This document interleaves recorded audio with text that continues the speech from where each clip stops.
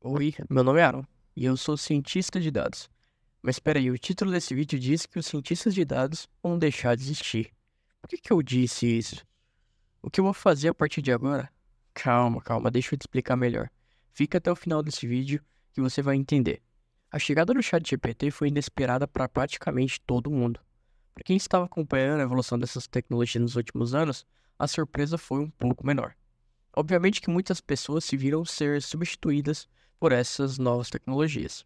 Muitos cientistas de dados, como eu, viram potencial nessas ferramentas, com grandes perspectivas de aumento de produtividade, mas não capazes de substituir o nosso trabalho. Porém, com o GPT-4, o Llama 2 ou o Code Interpreter da OpenAI, o Llama Code, por exemplo, a comunidade de cientistas de dados começou a questionar se de fato o profissional cientista de dados não irá desaparecer do mercado. Será? Se você é um cientista de dados ou está estudando para ser um, ou se você é qualquer profissional que acha que será substituído pela IA, calma. Respira. Respirou? Bem, a notícia ruim é que talvez você seja mesmo. Mas vamos aos fatos. O que um cientista de dados faz que uma inteligência dessas poderiam substituir? Uma análise exploratória? Por favor, me substitua nisso. Isso é maçante, chato de verdade. Esse seu trabalho é só ele, sim. Se aprimore, porque sim, você será substituído.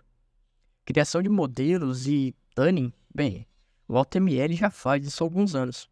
O trabalho de um cientista de dados vai muito além disso, ou pelo menos deveria ir muito além disso. O seu principal trabalho é ser altamente criativo e eficiente com os dados e as ferramentas que você tem disponível naquele momento. Seja adaptativo e lembre-se, a maior, escute, a maior parte das empresas sequer conseguiram organizar minimamente os seus dados. São pântanos inteiros de dados e mais dados sem utilidade, qualidade ou arquitetura mínima.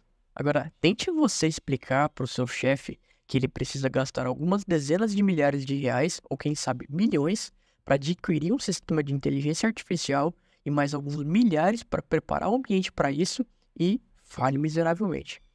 Tente explicar para ele que você quer substituir toda a criatividade de pessoas da sua empresa para a tomada de decisão por um conjunto de máquinas tendo alucinações criativas.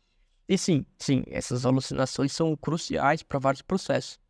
Porém, a interferência humana é sim muito importante. E muito mais do que necessária, ela é fundamental. Não à toa, todos os modelos atuais pedem para não levar aquela informação como verdade absoluta.